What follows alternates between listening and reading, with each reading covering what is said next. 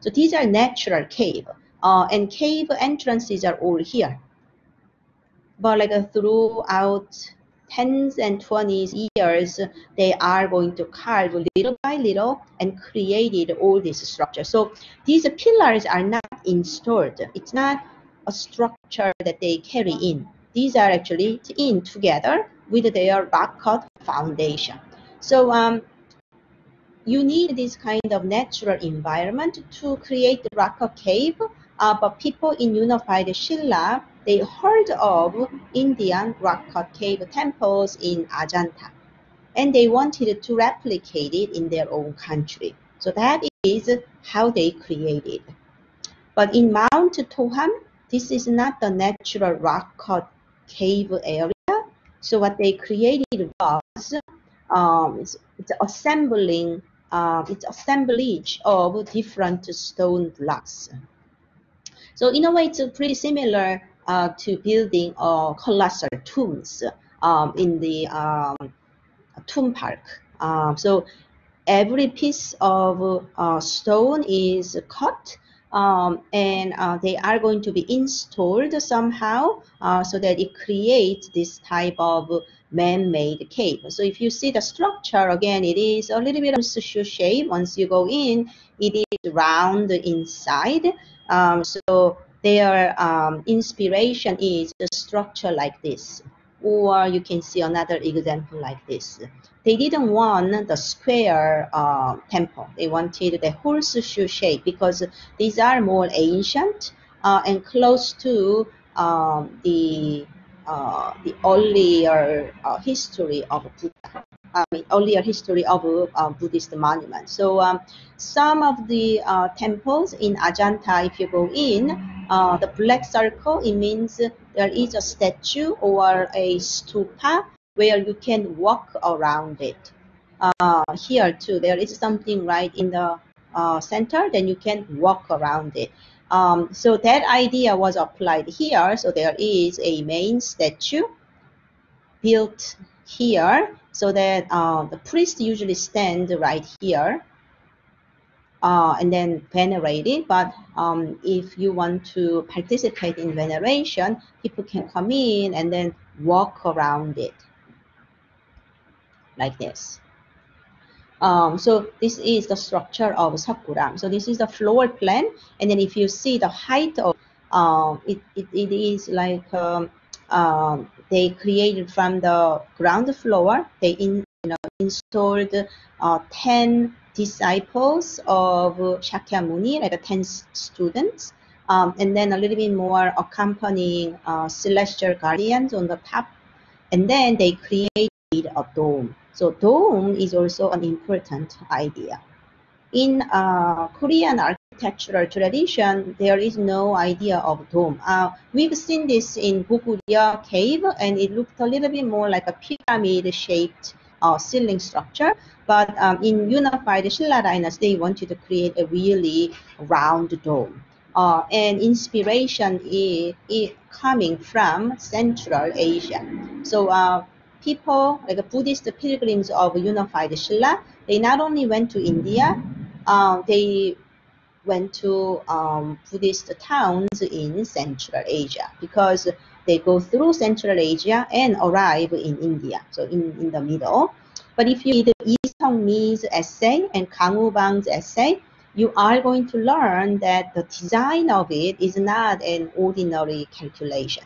It came out of a very uh, complicated proportion, ideal proportion.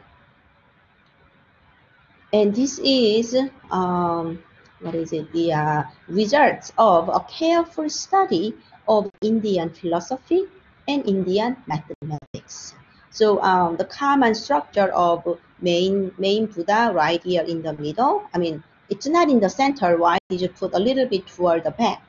There is a reason for it. Um, so there is a hexagon inside, right? And then somehow the center of uh, that uh, statue should be somewhere inside uh, based on this type of proportion 5.2 5.2 uh, and more uh, and so that when you stand in front of it um, with with your um, viewpoint, you will have a wholesome view of the main statues.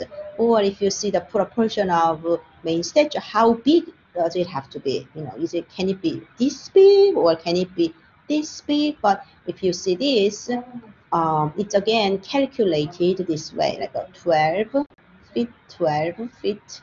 Um, and then somehow uh, it is calculated like this so that it, it must be this size.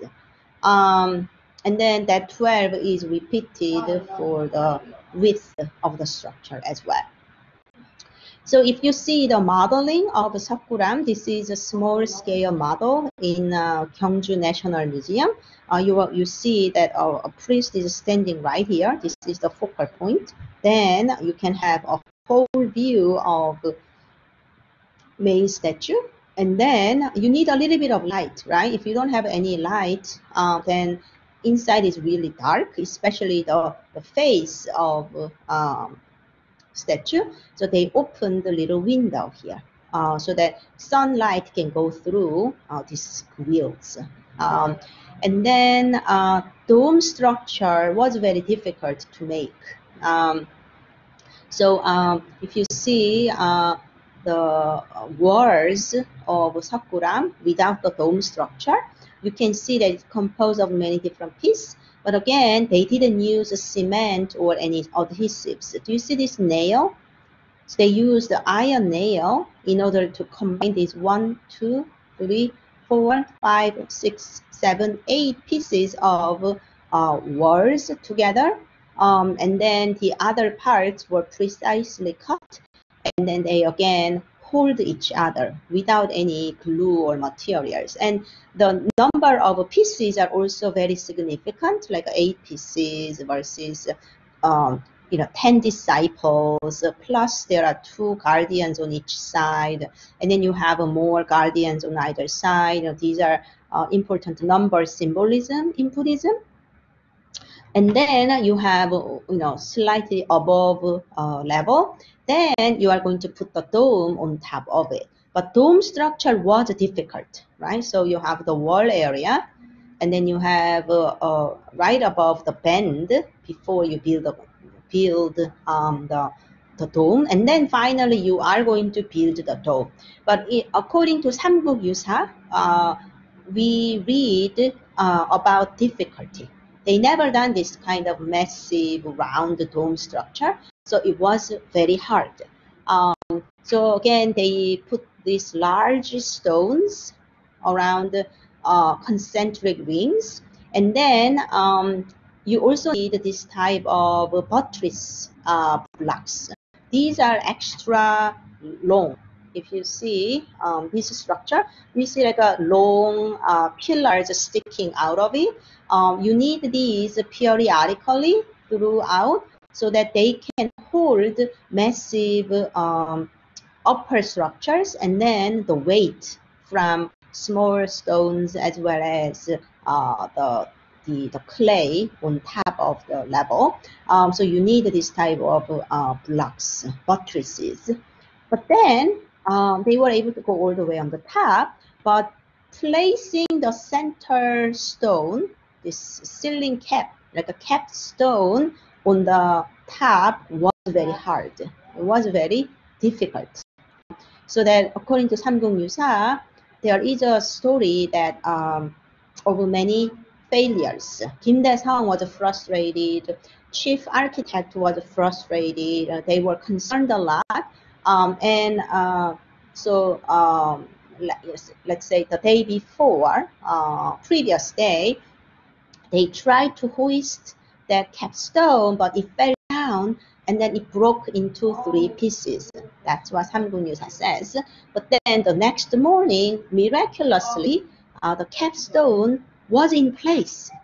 And they said that it probably um, the uh, protection uh, by one of these divine uh, guardians uh, called Indra. They think it's maybe um, the Buddhist deity, I mean, uh, Hindu and Buddhist deity Indra who could help uh, builders to put the capstone. So anyhow, it's, it's, it's complete and it's made of stone.